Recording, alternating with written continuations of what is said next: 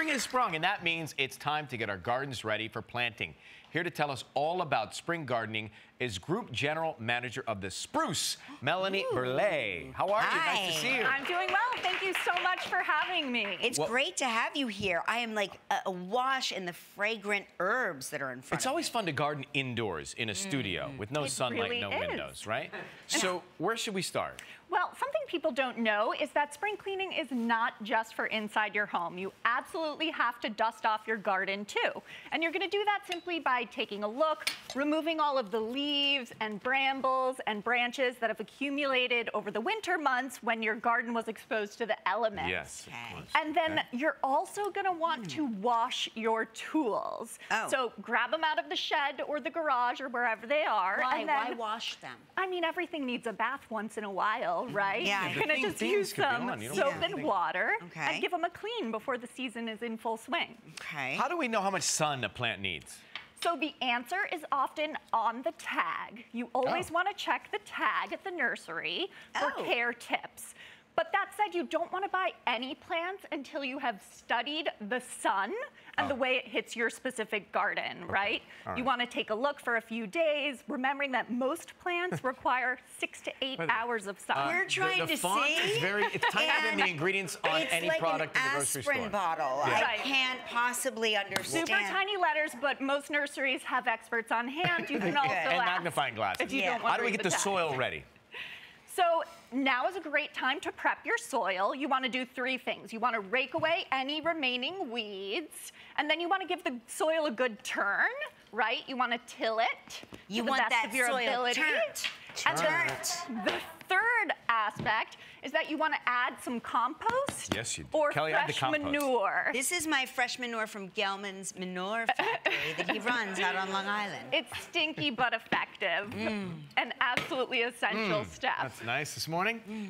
All right, and how do we plan our gardens? What do you suggest in terms of how we lay it all out? So when you're planning your garden, you want to remember three things: color, height, and weather. In terms of color, the best way to get a lot of color throughout the season is to mix perennials and annuals. Which one is which again? I can't remember. The perennials come back again and again. The, And the annuals, annuals. germinate, So process of flower, and elimination, die. and annual is annual, and then the it next one doesn't has to make be the sense. other one. Annuals should be the one. No, it it's makes annual. sense because it annual comes is back one- every no, year. eh, that's right. That's, the- that's what she said. All right, listen, we'll settle this later. Put your weapon down. Put your How do we down. water properly? In terms of the watering, you want to make sure you're providing consistent, ample water. But again, remembering that ample might mean something different to different plants. Depending, like, don't Right. water the succulent. Right. Right. And then at the spruce, we recommend watering in the in the morning because Uh-huh. that lets your plants absorb the water before the sun hits. oh, little plant, look at your water. And you don't just want to sprinkle the top. Use your finger and sort of figure out whether you've penetrated the soil. And Fine, then give you- me your finger. Yes, and then how do we want to maintain this to make sure it goes all season? Upkeep is very essential. This is not a plant and run situation. So you're going to do something called deadheading, Oh, which is yeah, not I know nearly that. as rebellious as it sounds. Let me do it. You're I got going it. Are you going to deadhead the Yeah, annual or the perennial? You want a deadhead with Yeah, me? I All right. do. So look for a droopy bloom, well. something that's not something floppy, and Mm-hmm. just cut it right off. And that's going to promote more growth. Yep. That's it.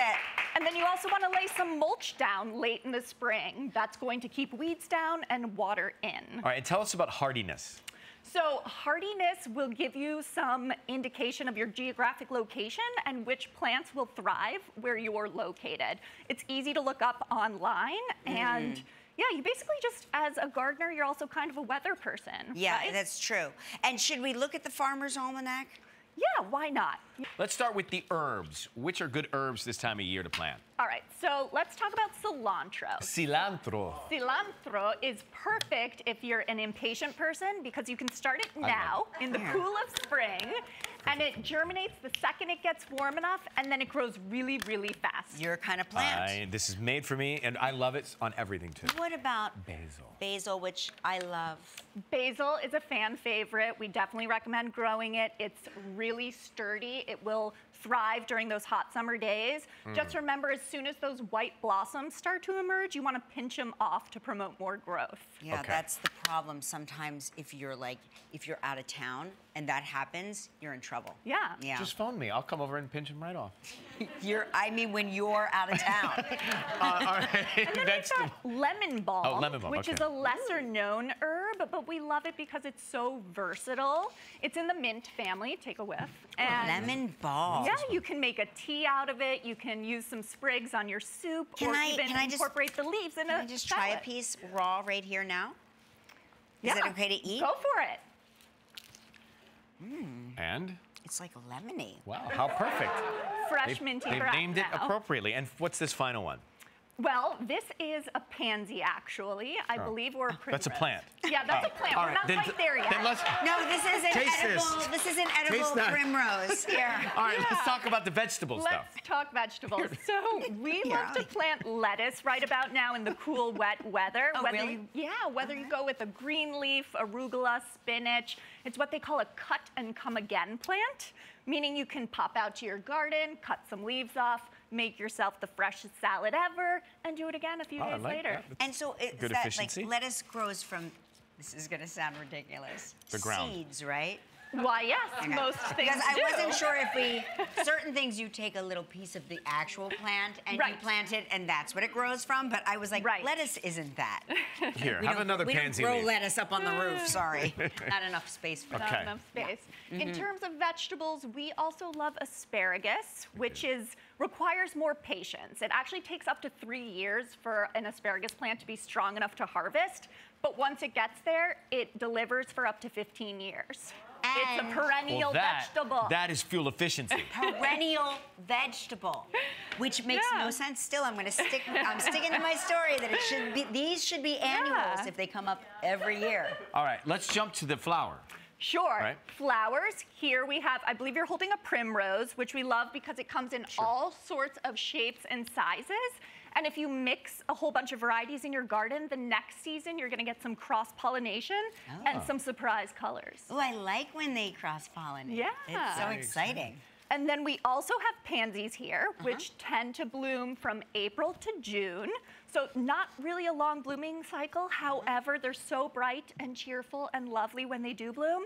And Gelman eats them. He told Yeah, me they can, they can be edible? They can be. Can they be edible? he- yeah. You know, the fact that you're still standing and didn't fall asleep from the Gelman briefing is a credit to your your stamina and your endurance. Great thank information, you. though. Thanks for coming.